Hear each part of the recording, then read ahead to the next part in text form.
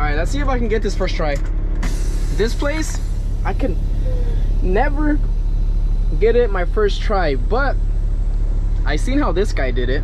So I'm gonna try his little technique. See if it works.